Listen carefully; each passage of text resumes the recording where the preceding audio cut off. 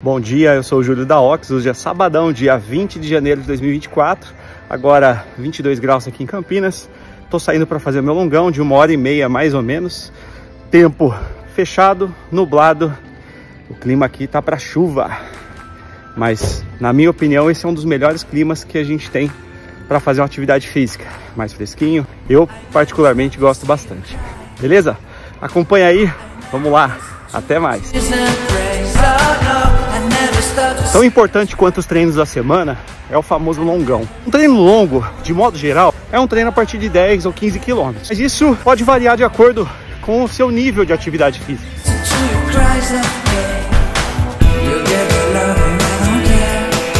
5 km e 600, 30 minutos de corrida. E o longão basicamente serve para treinar a sua resistência, o seu sistema cardiopulmonar. Ali é o momento de você treinar tudo, hidratação, reposição, tênis, roupa, calçado.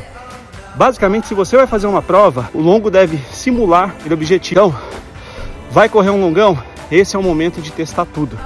Não inventa e não tente testar nada no dia da prova.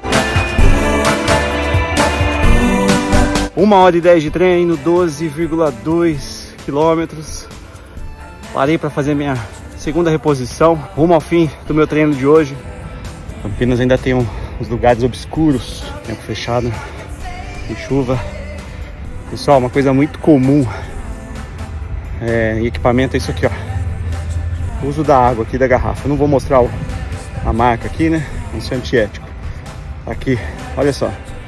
Tava cheia essa água, ó. Quase 300 ml. Caiu para 140. Se eu tô longe de terminar meu, meu longão, eu certamente vou quebrar. Não brinca. Salve, rapaziada. Beleza não?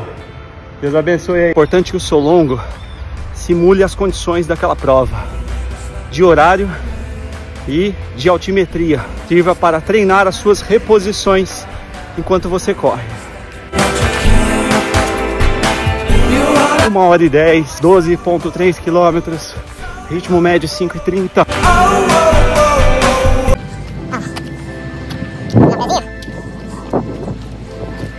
Tentar namorar, né?